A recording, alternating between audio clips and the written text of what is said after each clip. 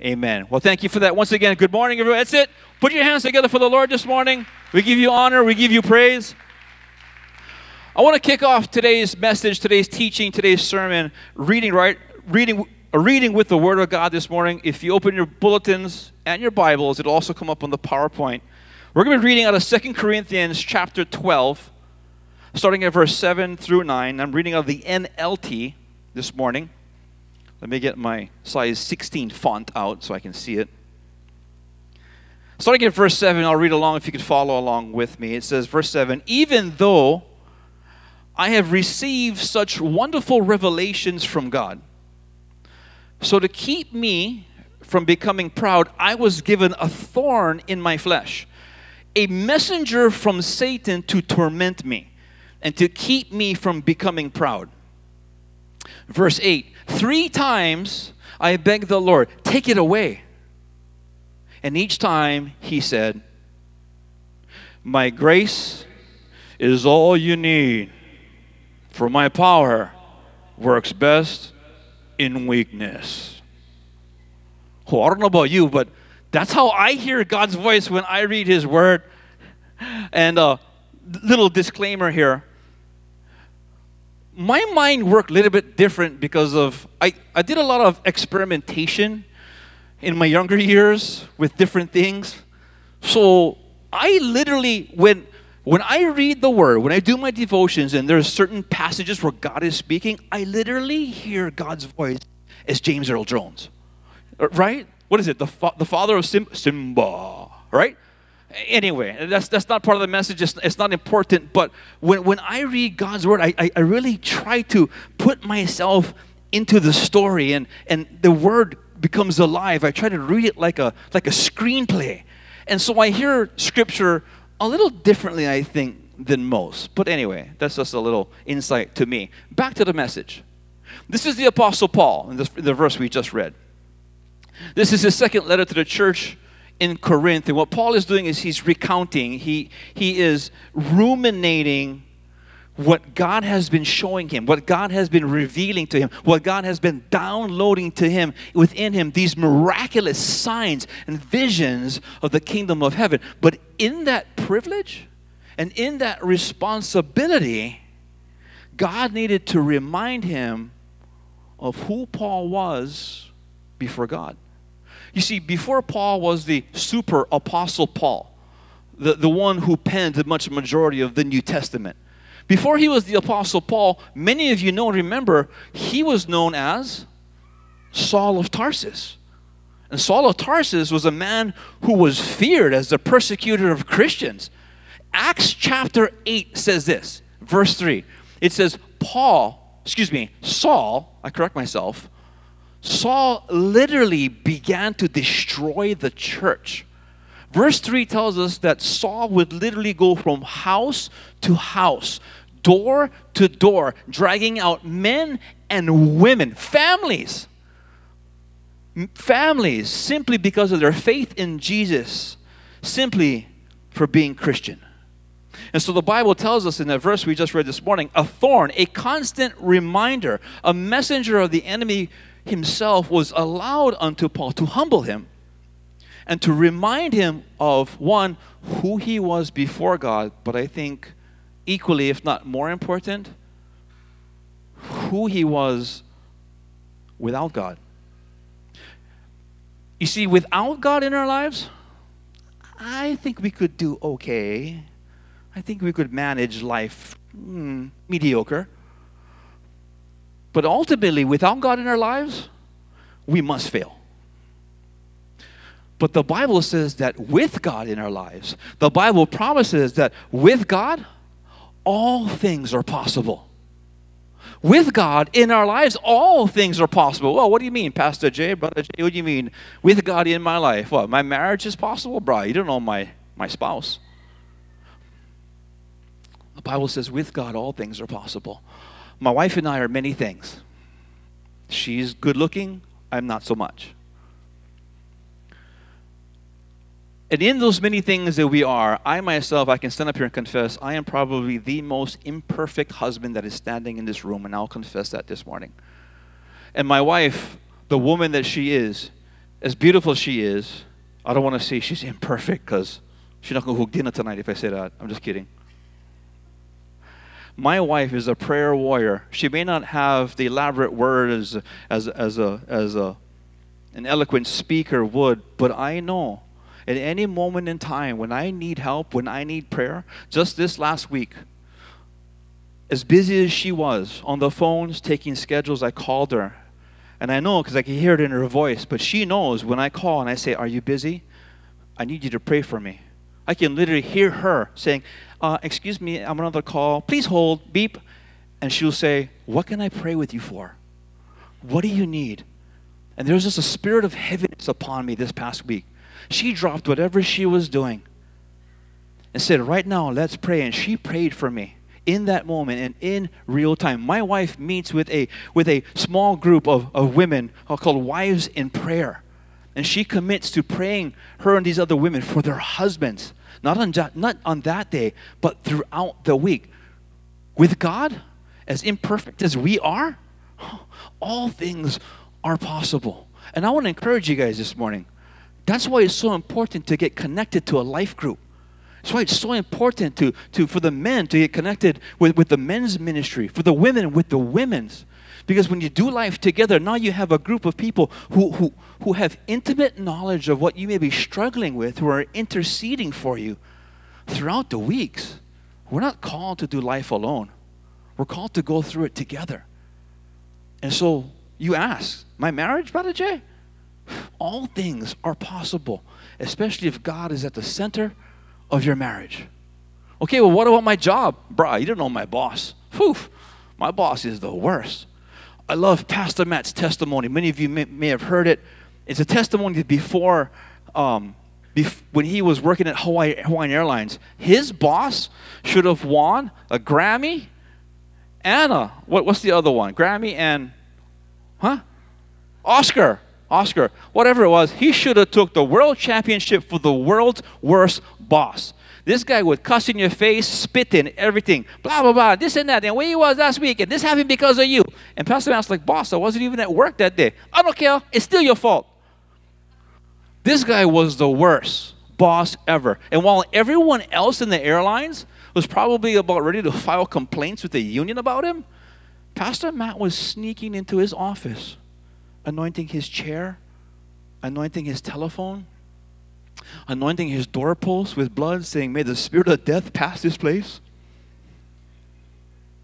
But Pastor Matt committed to pray for this horrible boss, to, to, to pray how he could be a better employee, how he could honor this man who is so horrible. And in the midst of that, with God, all things were possible that this boss is one of their best friends to this day dear friends of both Matt, Allison, and Daniel. Your job, your boss, yes, all things are possible.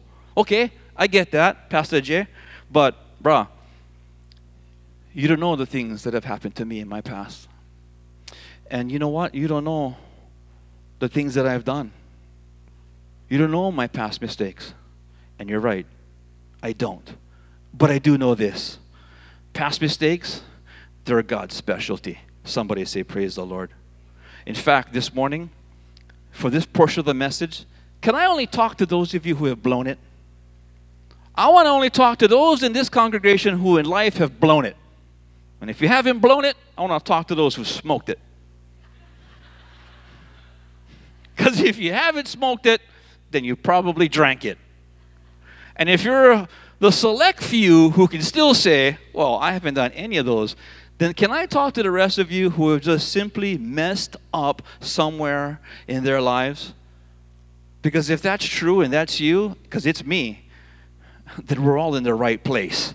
And I thank you, Jesus, that this church isn't a hotel for the healthy. This place is a hospital for the sick. And I don't know about you, but I need all the help that I can get. And if you're with me, somebody say, Praise the Lord. Past mistakes, brah, they are Jesus' specialty. And in fact, there is a great story in the Bible. There's one that I've really come to love. And it is a story of the encounter with Jesus and the woman at the well. Let me paint the picture for you. Jesus and his disciples are they're heading to Galilee. And to make the trip shorter, they decide to take a shortcut, but that shortcut actually takes them through a place called Samaria. So as they take the shortcut, it's about noon. It's hot. They approach a place that is well known in the region as the Well of Jacob. So Jesus decides, I'm going to stay here. He sends the disciples off a little further into town to go and buy some food. As Jesus is resting at the well, the Bible tells us that a woman approaches to draw some water. In that, Jesus asks her, Excuse me, may I please have some water from the well that you draw? Let me pause there. As I mentioned earlier, how I read the Bible and how I how I hear the voices. I'm not, not I hear voices, but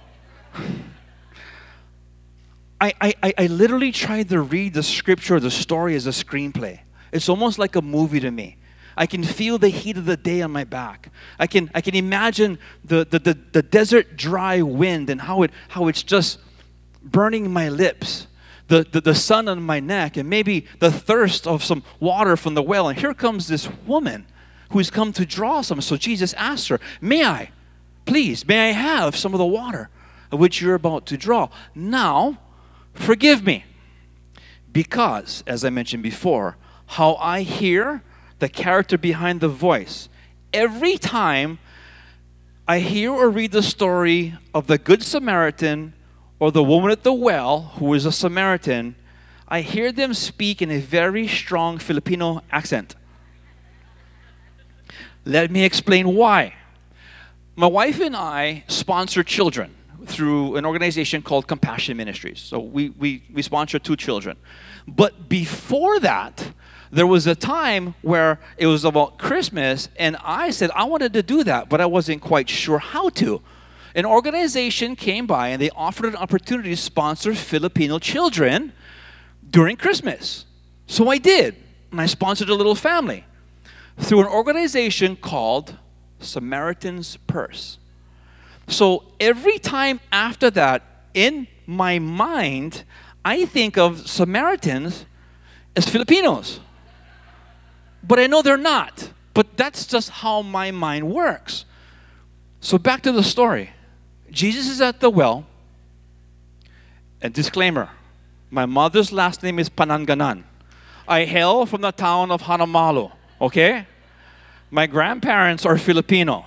So, I'm not making fun. This is just how I hear the word of God. Jesus asked the woman, May I have a drink of some of the water from the well that you drink, the well that you draw? The woman turns to Jesus and says, Isos, how is it you're speaking unto me right now? Do you not know who I am? And yet you want to ask me for somebody's water. Isos, you better recognize. Jesus doesn't even get offended at her horrible accent. He simply says this Manang, if only you knew of the gift of God that was before you today, you would ask me for some water. You would ask me of some living water from which you would drink, and you would never, ever thirst again. Jesus, son of Joseph, it doesn't say that. I just wanted to say that. The woman now perhaps captivated in this conversation, recognizing that there is no one else around. Remember the setting? Two people, Jesus and the woman, Jacob's well, no one else around. She responds to Jesus, then suppose you give me this water. You say you have. Where? Where is it? Huh? Suppose you give me. You say you have it. Where?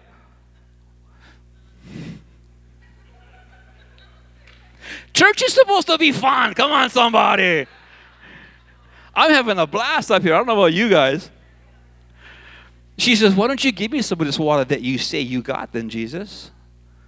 See, Jesus just told her, I got something that you need. Okay? I got something that can benefit you. She says, Why don't you give me some of this stuff that you got there, Jesus? There ain't nobody else around but you and I. Jesus says, Hold on, pump the brakes. I ain't trying to holler at you like that. Okay? Why don't you go get your husband? Why don't you go get your husband and then we can talk about it? Now, catch this. I always thought this story was about Jesus going beyond and breaking cultural and religious boundaries of the day. Because you got to remember, Jews and Samaritans hated each other. Jews and Samaritans would not even hold a conversation with each other. The headlines in Samaria, Samaria typically headlined cultural differences and disagreements between the Jews and the Samaritans. And for Jesus to even ask this woman for a drink of water, to take that up and for him to physically drink from it, you got to remember, would make him ceremonially unclean. But when I follow this, when I look at this from a different angle, I'm reminded that whenever Jesus comes to deal with something in your life, if you are, Jesus will always be ready to deal if you're ready to be real. Come on, somebody. She says this. Jesus says, Go get your husband. She goes, I ain't got no husband, Jesus. it's just you and I. Jesus says this Ah, finally you speak the truth. Now, Jesus pulls back the wool on her life. He says, Because um, you've been married five times already. Uh, and the guy you're living with now, the guy you're living in sin with now, you guys ain't even married. Her response, something tells me he is a prophet.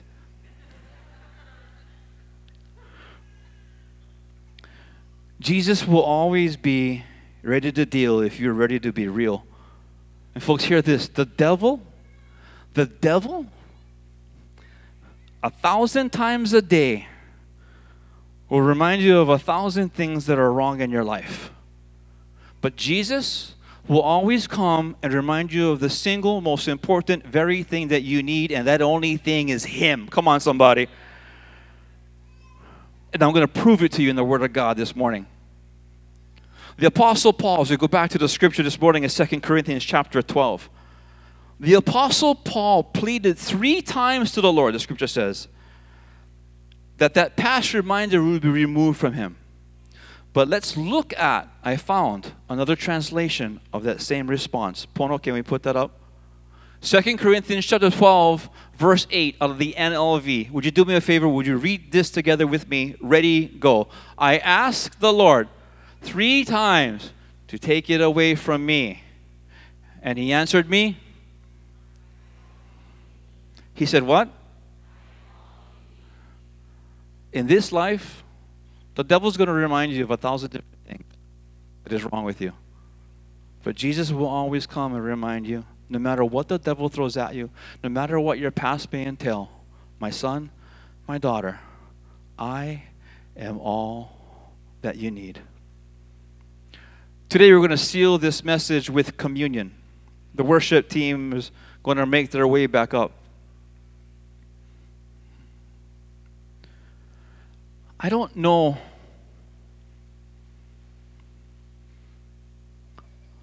I don't know the struggles that you may have been enduring this week or in this season of your life.